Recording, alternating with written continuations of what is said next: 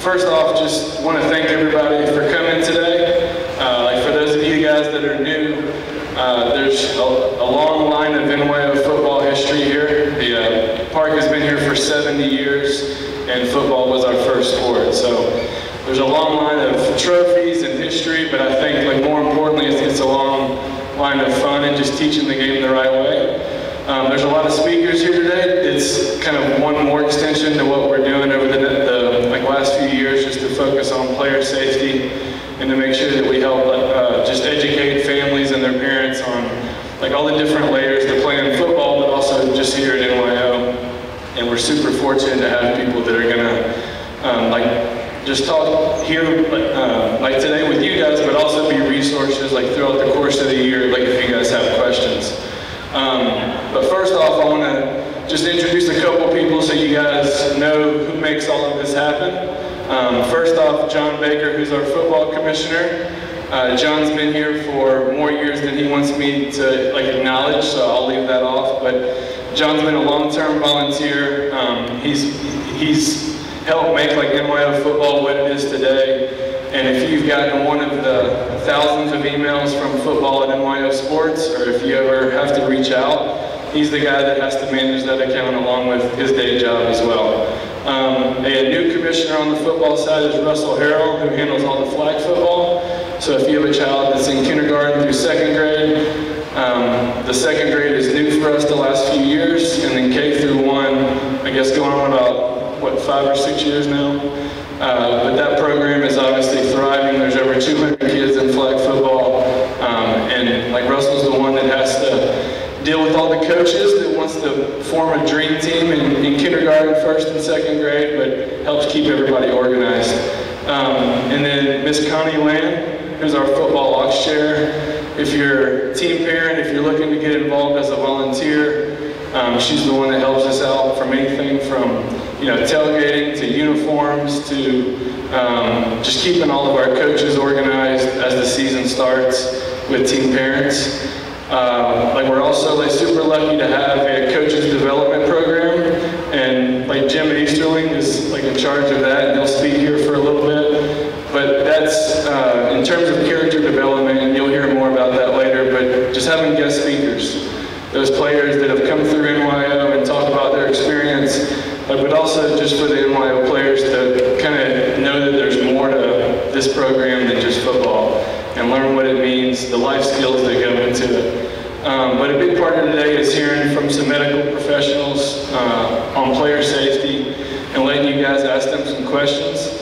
Um, so I'm going to hand it over to Darby, who's our athletic trainer from CHOA. All right, good afternoon, everyone. Um, my name is Darby. I am an athletic trainer at Children's Healthcare. So my job is I specifically work with club sports athletes, anywhere from elementary, middle, and high school. Um, I am actually out here once a week for all of you and your children. I come out on Wednesdays, normally from about 6 to 8. Um, I am here to do any kind of injury checks you guys want. Your kid's complaining about ankle pain, knee pain. He has an ankle sprain that's not healing, you know. She's got some knee stuff going on. Come out and see me. Um, I'm going to leave my business cards here. That way you all have my cell phone number, you got my email. Call me, text me, email me, let me know. Um, and we're going to kind of go injuries today. But, you know, I just want to let you know I'm here. I'm here every Wednesday. Normally I hang out by the football fields. I'll be walking around with my fanny pack on, um, or a sling pack. You can tap me on the shoulder, you know, just let me know what's going on. If you have questions, anything, I'm here also help get you in to see children's doctors normally next day. So instead of waiting for the extended waiting list for a lot of our doctors, um, I can normally slide you right on in, I can reach out to them. Um, specifically today, what I'm talking to you guys about is heat illness. You know, it's super hot out there, we all know it, we try to avoid being outside during the afternoon at all. Um, I'm gonna kind of go through some of the things we need to look out for, things to, you know, prepare with, all that kind of stuff. All right, so to start off, um, there are actually three different forms of heat-related illnesses in children. Um, you've got dehydration and heat cramps as your first stage. You've got heat exhaustion and heat stroke. So obviously, you know, dehydration and heat cramps is going to be your lowest level of heat illness. Starts off, you know, a little bit of dizziness, a little bit of fatigue, muscle cramping, that kind of stuff. We've all seen it, we've all experienced it. Um, when this happens, you can normally take a break, sit in the shade, rehydrate, you know, stretch out if you're cramping, and then as soon as symptoms resolve, you're able to go back to play. Now, to avoid this and any and all heat illnesses, it's super important to keep your children hydrated all day long. Hydration starts at home, not at practice. If they're drinking water all day, it does help prevent all these heat illnesses from happening. Now, when they're at practice, we do recommend they drink things like Gatorade and Powerade. It helps replenish those electrolytes. Um, water sometimes doesn't do quite enough when they're sweating out all of those salts. Now, the next level is heat exhaustion. Now, this is going to be a little bit more intense, a little bit more serious. Um, it can have a rapid pulse, headache, nausea, vomiting, chills, loss of coordination, excessive sweating, and dry skin. Now with this, you're going to want to stop play immediately and start drinking water or a sports drink. It's incredibly important to tell your children that when they're hot, they need to drink their water and not pour it on their head. I know it feels great, but it is not doing nearly as much for them as if they can drink it. Um, now, if this happens where they start getting you know, the rapid pulse and of coordination, they're sweating buckets, um, it's super important to get them into a cool facility. You know, we have the coaches out for this. You guys aren't always at practice. We know this, but it's important to also tell your children when they're feeling these things to speak up. You know, they're the biggest advocate out here. Their coaches can only do so much. It's super, super important for you guys to let them know these things too. Um, at this point, if you're unable to, you know, kind of get that temperature regulated, get them to stop sweating, stop overheating, you would need to go to the hospital. Now, past this, you have heat stroke. Um, this is the most serious heat illness. It does come with vomiting and dangerously high temperatures. Um, this is the point at which you submerge in cold tub, use ice packs to get cold, and transform into EMS. Obviously, we're hoping this doesn't happen at all, but it is something to be aware of and keep your eye out for. Um, coaches are aware, you know, keep the kids hydrated, they're giving them good water breaks. You, know, you guys had that awesome week last week of acclimatizing back into this. You know, it has been hot out. Um, so definitely make sure you're you know, really, really talking to your kids about staying hydrated all day long, drinking their water, you know, staying cool and speaking up when they get too hot. Okay? It's very important. The coaches can't watch every single kid. Not as much as they'd love to, I'm sure.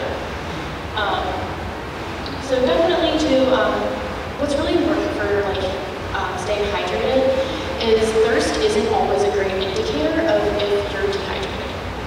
What we say is you want the kids to drink until they aren't thirsty anymore before practice and then have them drink another eight ounces of water. It's just a really good practice to get into to make sure that they have enough water in them to keep their body temperatures cool and regulated.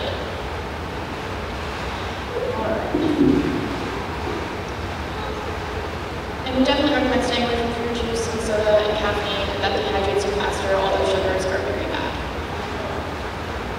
Moving on to just, I'm going to touch briefly on overuse injuries. Um, like I said, I am out here every week if you're worried that your child is developing an overuse injury. Um, but a really, really good thing to look out for is if they're containing morphine while they're playing than when they're at home. You know, all of the children in this age group are growing, a lot of them are growing rapidly. This affects their growth plates, especially when they're being as active as we love them to be out here. It can really cause them to have knee pain, heel pain, things like that. It's very normal, especially in growing boys at this age.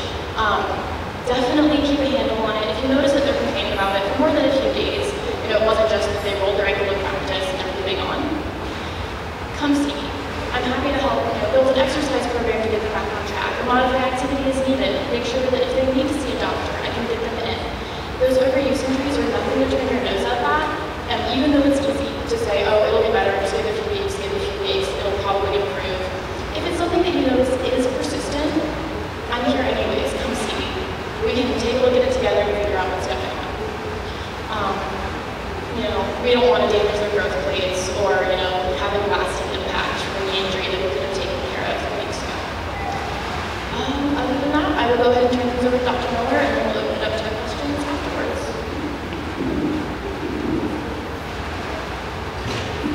Hi, um, my name's uh, Stephen Miller. I'm Dr. Miller. I am a uh, primary care sports medicine pediatrician with Children's Healthcare of Atlanta. Uh, so uh, I've been trained in pediatrics first and then have special training in pediatric sports medicine after that. Uh, so I'm happy to be here to answer any questions you guys may have today. Uh, I also though want to kind of reinforce what a great resource having Darby here is. So if you do have your kids aches or pains or something you're just not quite certain about, like, should this see the doctor or not? She's fabulous. Like, you can come in on those Wednesdays and she can sort things out and kind of help you with that. Um, but, uh, and then the other thing as far as like staying hydrated, I like to give like a little tip, like the, the, the, being hydrated before they come out is really important. If they come out already dehydrated, they're gonna only get worse from there. So um, one to two glasses, 30 minutes of, of water, 30 minutes before practice or game, uh, and then try to have a good 32 ounces of fluid available for for every hour or hour and a half of practice or game you might have uh, during. So at least they have the availability to get it. But uh, the main thing I'm going to talk about today is concussions, uh, which comes up with football, unfortunately. Uh, concussions um, are a brain injury. It's a functional brain injury.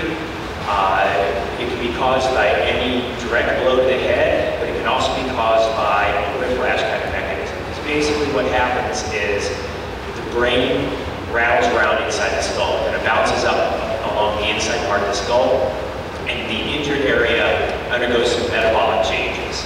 Uh, those metabolic changes kind of slow down the functioning of the brain. So the brain cells can't talk to each other as effectively as they're supposed to, and that can lead to a variety of symptoms.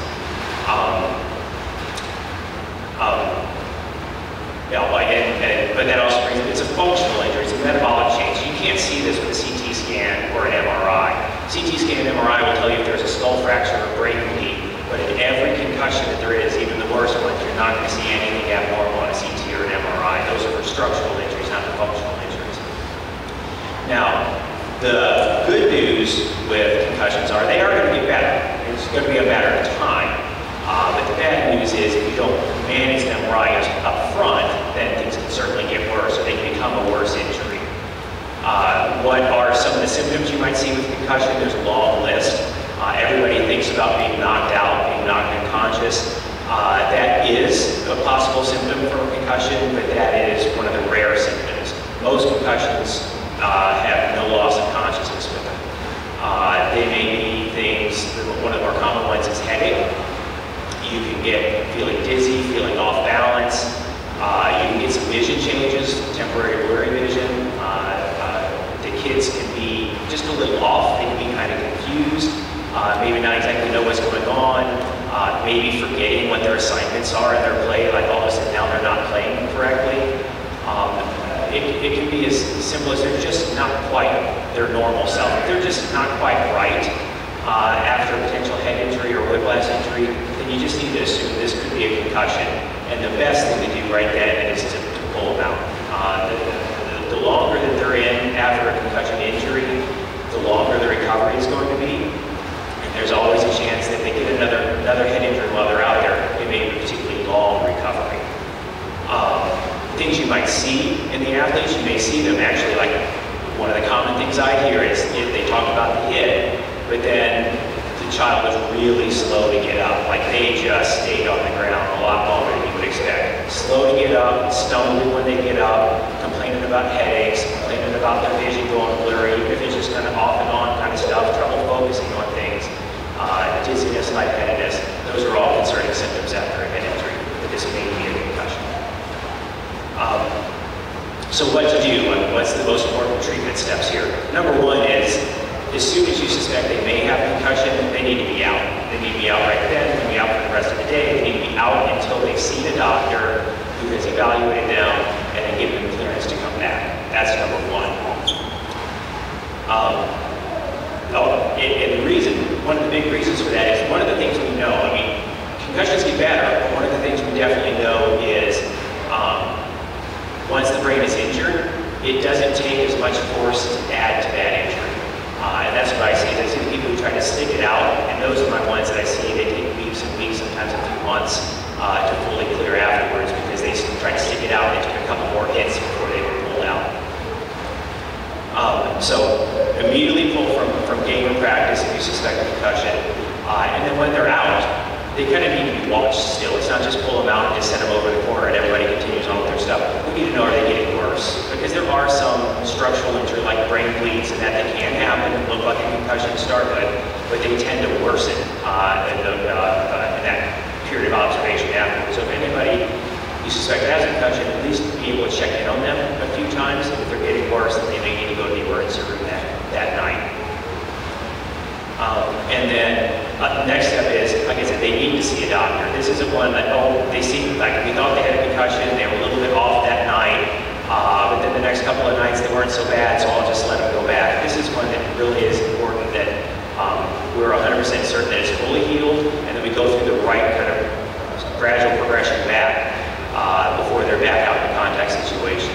Uh, the other thing we know about concussions are you might start feeling good at rest, but as soon as you have to kind of start using your brain cognitive stuff like in school, or even get your heart rate up, get your physical exertion up, a lot of those symptoms come creeping back in if they're not fully resolved. So there's a number of things as doctors that we're looking for, and we're looking to see be improved before we put it back into a risky situation. Um, and uh, finally, that doctor's clearance is um, uh, what's most most important. And, and, typically, you know, if someone has a concussion, we're going to put them through uh, that progression where first they, you know, they, they may be cleared at rest from everything, but they're going to do some jogging, and the next day they may do some harder sprinting. Uh, they may be able to do some weight training if they're doing weight training at this age, uh, and then they're going to do a non-contact practice, and they're going to do a full practice before they're back in any, any kind of game situation. So the other thing that I want to point out is I'm from Children's Hospital. Children's has a lot of good information about just pediatric sports medicine and sports injuries in general, but they have a lot of good information about concussions. Uh, and on the handouts, if you saw one uh, at the bottom, uh, the webpage, choa.org, and slash concussions, or if you just go to the main page and put concussions in the search bar, you're going to find all that information. There's also a phone number on there to get in touch with someone in Children's for scheduling. If you call that phone number, the one that ends in kids, and ask for the concussion nurse, there's an advice line with a nurse who's very knowledgeable about pediatric concussions and sports concussions, and she can answer questions. Uh, she can help you get in with the right kind of provider too, um, if, you're, if you uh, don't have a pediatrician. Uh, uh, so those are really good, really good resources to have. Okay, and I'm going to open it up. I'm here. I'm, I'm happy to answer any questions about concussions. If you have any questions about other injuries or other things uh, in general, I'm happy to give you any advice. Nope. Any questions? So the question is, again, from a coaching standpoint, it sounds like kind of what, what should we be doing? Uh, the, the most important is that the athlete's out and there's no question about them going back in. Uh, but yes, then, then as a coach, at least keep them by you so you know that they're not like losing consciousness or something really serious like that.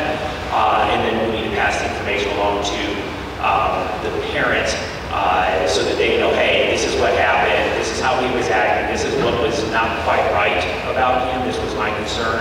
Uh, and then, and then um, if the child has really severe symptoms, if the parent is concerned in any way, they can certainly be seen in an emergency room, possibly in urgent care that night, just to get the clearance to, make, to be certain this isn't a structural injury like brain bleed or anything like that. Um, but they're not going to, you know, clear for concussion that night. But absolutely, even if they don't think it's that bad, uh, he needs to see his pediatrician. And a pediatrician is a good place to start. A person who's seen him before is fabulous. A person can see him easily, they need to have a follow-up appointment.